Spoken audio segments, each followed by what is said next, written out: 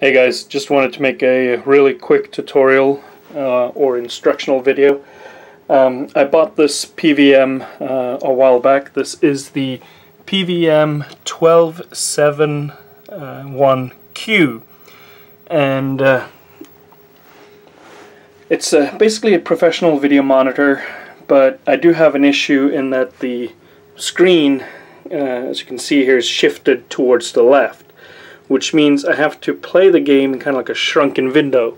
If I try to do a zoom out, you can see on the left hand side here, it actually cuts out a lot of the pixels and details. So uh, obviously I don't want that, so I want to shift the image to the right.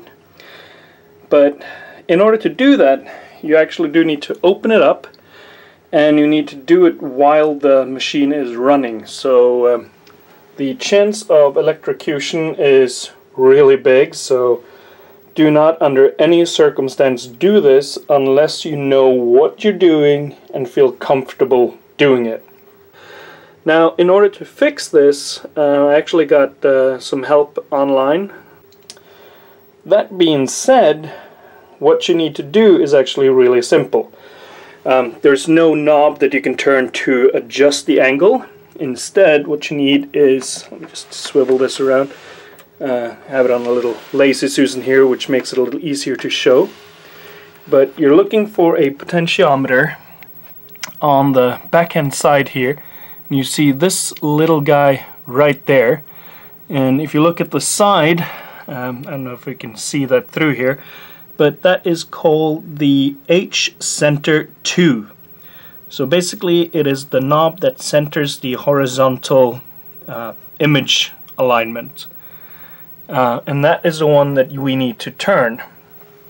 So uh, to go back to the front here, and uh, you can see this very well in the beginning so uh, as soon as the title screen comes here, you can see how his uh, sword is being cut. And obviously we do not want that. So we're going to find the little knob here on the back. And we are just going to turn that and wait for image actually to show up here. Come on. You know you want to show some pictures. There we go and just by dialing that you can see that we are moving the image to the right. So let's uh, reset.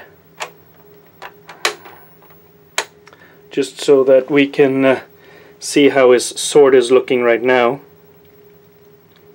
And see if we need to do any adjustments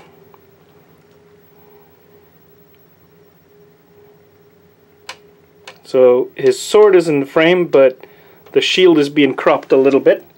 So we'll just go back here and just gently nudge that a little bit here.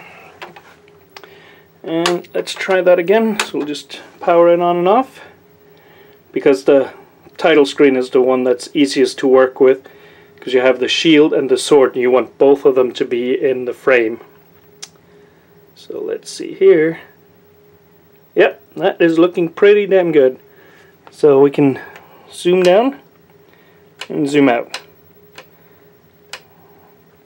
And uh, that's really all there is to it. But again, be careful because there is live current going through everything here. So uh, don't touch any exposed metal. And uh, I hope you found this uh, uh, instruction helpful